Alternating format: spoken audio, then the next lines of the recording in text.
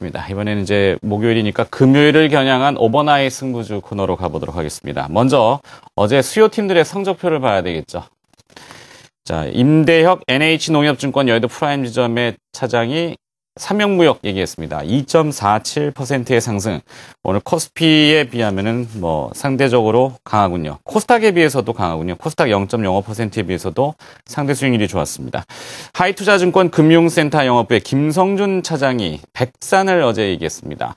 자, 이 백산은 내용이 많이 나오고 있군요. 합성 피혁 원단 전문 기업인데 어제 그 최대 주주 지분과 특수관계인 지분이 블럭딜로 외국계 투자자들한테 넘어갔고 기관 투자자들한테도 넘어갔군요. 외국계 금융기관에는 5,320원대에 넘어갔고 국내 금융기관 투자자들한테는 5,580원에 블럭딜로 넘겼습니다. 외국인과 그 기관 투자자들이 샀다는 얘기 어떤 의미인지 한번 봐야 되고 백사는 오늘 어 2.8% 상승이군요. 네, 5,860원이 나오고 있습니다. 자, 수요팀들은 선전을 했고 분발이 됐습니다. 목요팀들은 과연 어떻게 될지. 목요팀 연결해 볼까요? 하나투자증권 강남 리더스 라운지 송승복 연구원 먼저 연결합니다. 안녕하십니까?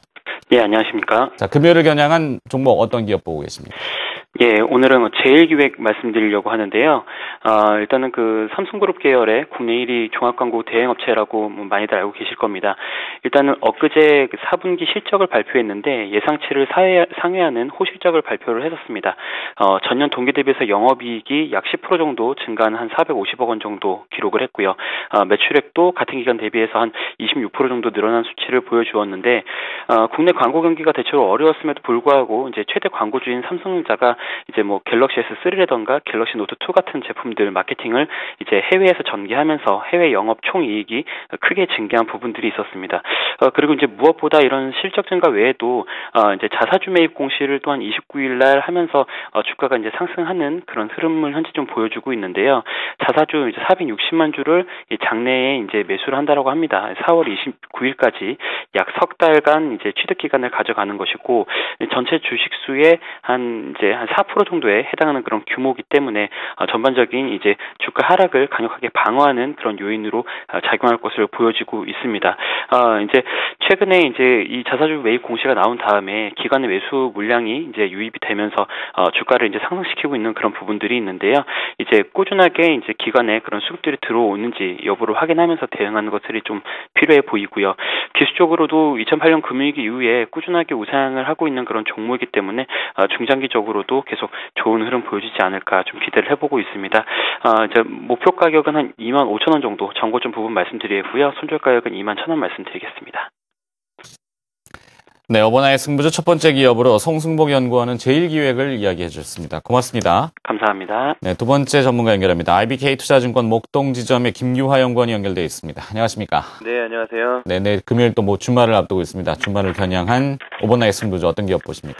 네, 오늘 말씀드릴 종목은 현대상사인데요. 현대상사는 최근 들어서 예멘 광고 지분 가치가 증가할 것으로 전망이 되면서 어, 좋은 흐름을 보여주고 있습니다.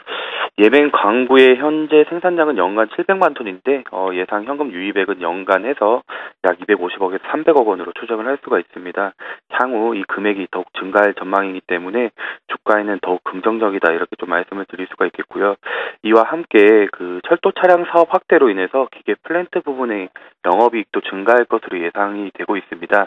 우크라이나 철도 차량 관련 1차 수주액은 90량이었는데 사업기간 20개월 기준에서 3억 달러이며 우크라이나 는 철도 차량 수요가 연간 400에서 어 40에서 100량으로 이렇게 추정이 되고 있습니다. 따라서 추가 수주가 가능할 것으로 보이고 더불어서 러시아라든지 아니면 중남미 이쪽에서도 철도 차량 교체 수요가 어 증가를 하고 있기 때문에 수주 가능성이 어 추가적으로 있, 있다고 이렇게 좀 판단이 되고 있고 그리고 2012년 4분기 실적은 철강 가격 가격 하락이라든지 아니면은 원 달러 환율의 하락으로 인해서 컨센서스보다는 이제 적게 나올 것으로 추정이 되고는 있지만은 2012년보다는 2013년 성장성을 봤을 때 어, 추가로 주가 상승은 가능하다 이렇게 생각을 하고 있습니다.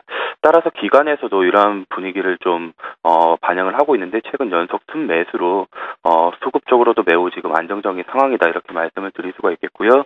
박스권 정고점을 넘어서는 그런 단계이므로 목표가는 한 단계 위인 28,000원 그리고 손절가는 21,500원 제시해 드리도록 하겠습니다.